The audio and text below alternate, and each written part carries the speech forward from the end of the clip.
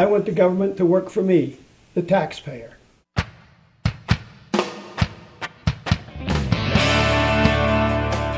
your hands together for the next President of the United States, Mr. Herman B. He's a true son of the South.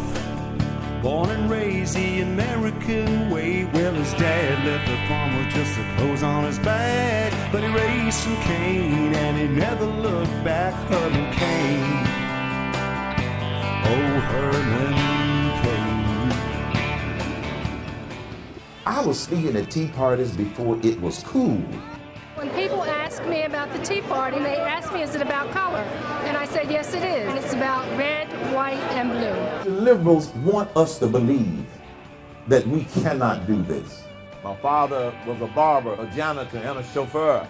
The only kind of equity that he had when he walked off of that farm, sweat equity. And he achieved his American dreams. Seems like things are kinda upside down. Someone to turn around? He's done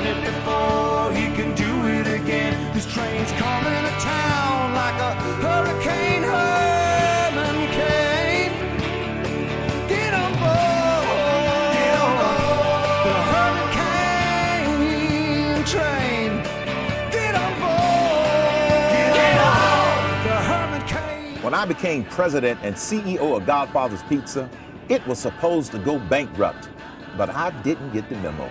We turned it around with common sense business principles, and we can turn this country around the same way.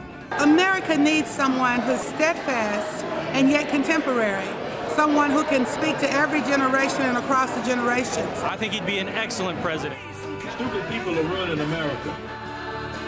As long as you understand that 2 plus 2 equals 4, you can make it in corporate America and you can make it in government. But we don't have leaders who understand that 2 plus 2 should equal 4. Remember, this presidential candidate can count. Unlike maybe her, the one that Give the American people more of their money in order to start the not to the government. You see, I left that Democrat plantation a long time ago, and I ain't going back.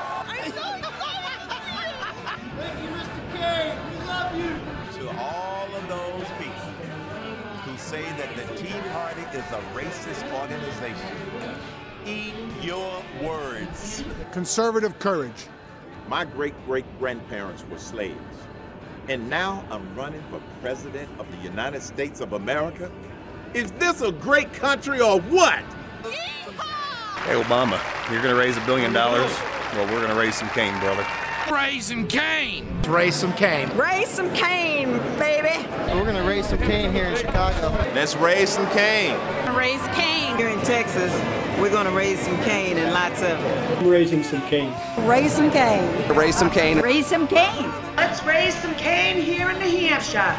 Raise some cane. Get on the Herman Cain train.